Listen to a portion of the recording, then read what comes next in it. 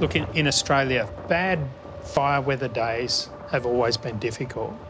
But what was different this summer was multiple fires formed their own weather systems. With massive fires, the heat going up drives the smoke column 10, 12, 13 kilometres up into the stratosphere.